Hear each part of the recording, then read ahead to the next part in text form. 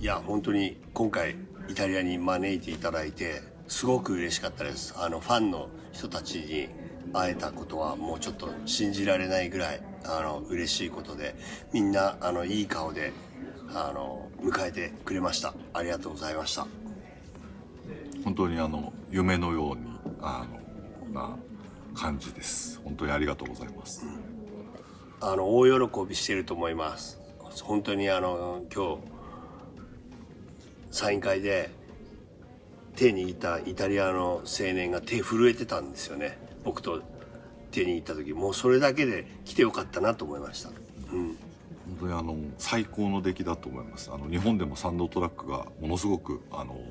人気で売れているんであの皆さん映画を見てくださいと。あと、サンドトラックも聞いていただければと思います、はい